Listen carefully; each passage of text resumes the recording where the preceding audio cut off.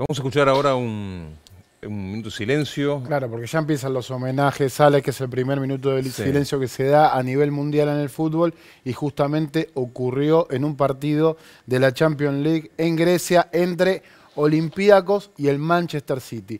Esto pasaba en la previa del inicio del partido. Diego Armando.